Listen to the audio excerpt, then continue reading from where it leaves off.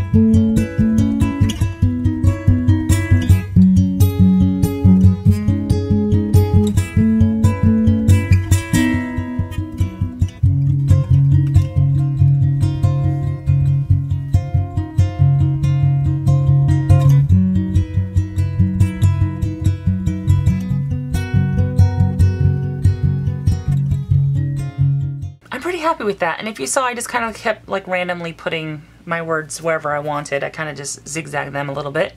Um, you could have also put them in random spaces. I did leave a lot of space in here. I know because how I use my soul book, as I'm flipping through here every once in a while, you know, periodically I'll come through and I'll flip through it. I might have a couple more things that I want to add in here. But I thought this was a really good um, way to utilize these two journal prompts that I had in my paper stash, where I am now versus where I want to be. And actually, I'm really super excited about this page. I think that right now it's done. However, because it's my soul book and a soul book is a living, breathing book that I'm constantly like using to um, evolve me, it means this will also evolve through the year as I see fit. And it might stay exactly the same it is now, and I might add more or add more doodles or add more art stuff to it, or you never know, I might come in and gesso part of it and do some more. It just depends. I think I'm pretty happy with this though, so um, right now I can't imagine I'll do anything else to it because I love it so much. It just seems really, really super happy. It's a little bit chaotic, it's a little bit spazzy, which is kind of like myself. It's kind of how my brain works a little bit of a jumble, but I'm really happy with it. And I hope this gave you a really good idea on something that you can do in your own soul book, uh, where I am now versus where I want to be. If you have any questions, don't forget to put them down in the comment section down below. I will be very happy to help in any way that I can. And don't forget to thumbs up and subscribe. I know that you know that, but it really helps uh, my little channel. If you were to do so, I'd really appreciate it. And if you have any questions for me, please don't hesitate to let me know. I will talk to you soon. Until next time, bye for now.